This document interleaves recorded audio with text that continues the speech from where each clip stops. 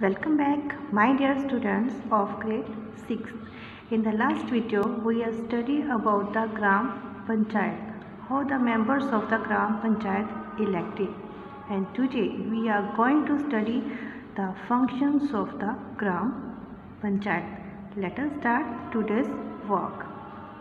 First function is implementation of schemes for the development of agriculture and infrastructure. First काम क्या करती है gram panchayat? Agriculture means village area में main occupation क्या है? Main काम क्या होता है? एग्रीकल्चर करना।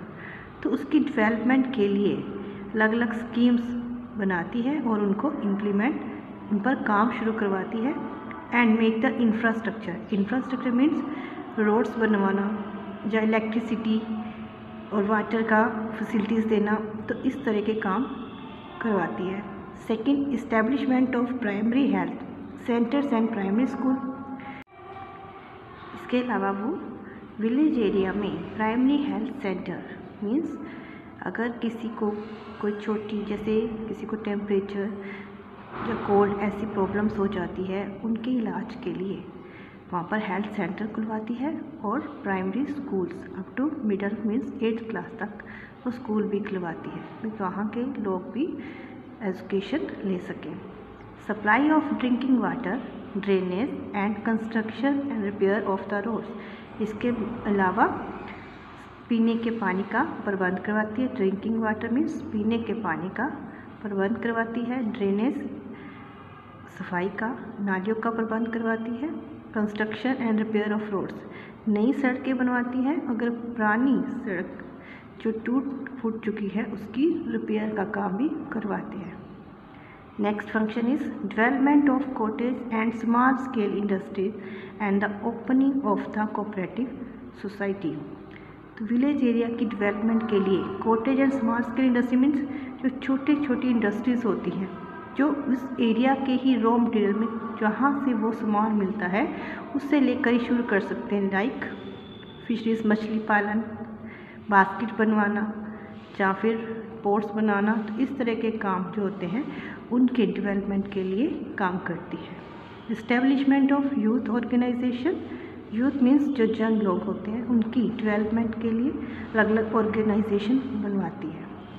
Registration of birth death and marriage in the village village area में किसी का बर्थ होता है डेथ होती है जब मैरिज तो इसका रजिस्ट्रेशन भी कहाँ पर होता है?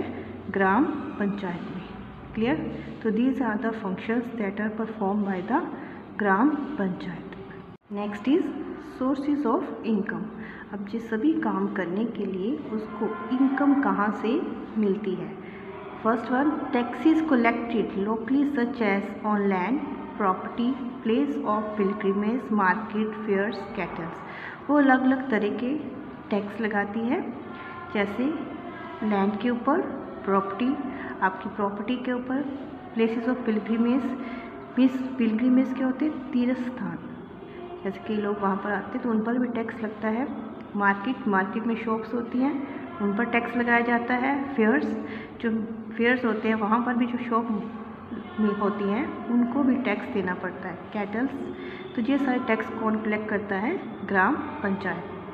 और fixed grant from the state government in proportion to the land revenue इसके अलावा स्टेट गवर्नमेंट की तरफ़ से भी उनको कुछ ग्रांट ग्रांट क्या होते हैं? उनकी तरफ़ से भी कोई हेल्प मिलती है कि वहाँ के एक्सपेंडिचर है उनको पूरा करने के लिए।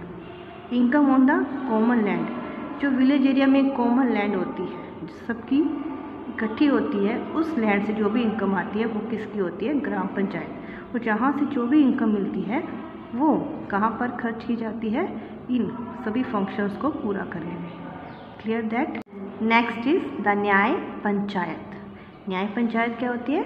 Let's see the aim of the nyaya panchayat is to resolve disputes and provide speedy justice village area में कोई भी अगर आपस में डिस्प्यूट्स लड़ाई झगड़े हो जाते हैं तो उनको सॉल्व करने के लिए न्याय पंचायत होती है विलेज एरिया में। A group of village is administered by single nyaya panchayat. Group of village means कुछ विलेज के इकट्ठे के लिए, जैसे छः और सात विलेज होते हैं, उन सब के लिए इकट्ठी एक ही न्याय पंचायत बनाई जाती है।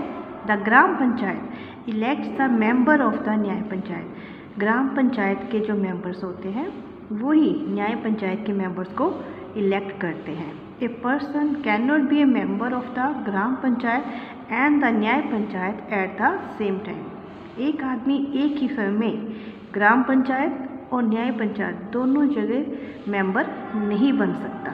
अगर वो ग्राम पंचायत का मेंबर है तो वो न्याय पंचायत का मेंबर नहीं बन सकता। दोनों अलग अलग हो सकते हैं। The powers of the nyaya panchayat are limited compare to the other courts in the country हमारी कंट्री में दूसरी कोर्ट्स में जैसे district court high court supreme court उसके कंपेयर में न्याय पंचायत की पावर थोड़ी कम होती हैं। The nyaya panchayat can only look into the petty matter petty means छोटे केसेस जो होते हैं, उन केसेस को सॉल्व करती है लाइक थेफ्ट चोरी ट्रेस पास ट्रेस पास क्या होता है? अगर कोई आदमी किसी दूसरे की ज़मीन पर उसकी परमिशन के बिना कंट्रोल कर लेता है, उसे कहते हैं ट्रेस पास तो ऐसे केसेस को कौन सोल्व करता है? न्याय पंचायत और उससे रिलेटेड अपना जजमेंट देती है. The nyaya panchayat can not send anyone to jail nyaya panchayat किसी को भी जेल नहीं भेज सकती. It can simply punish the way of levying fines on the guilty ये सिर्फ़ फाइन लगा सकती है अगर किसी की गलती हो।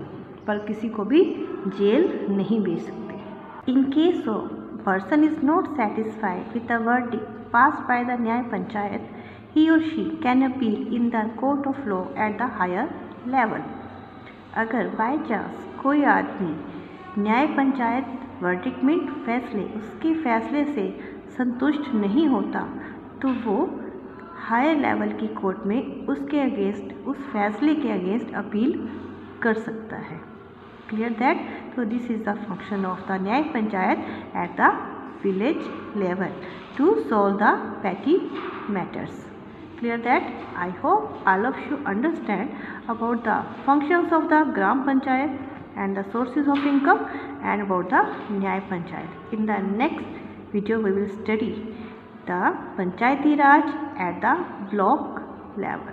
Thank you for watching the video.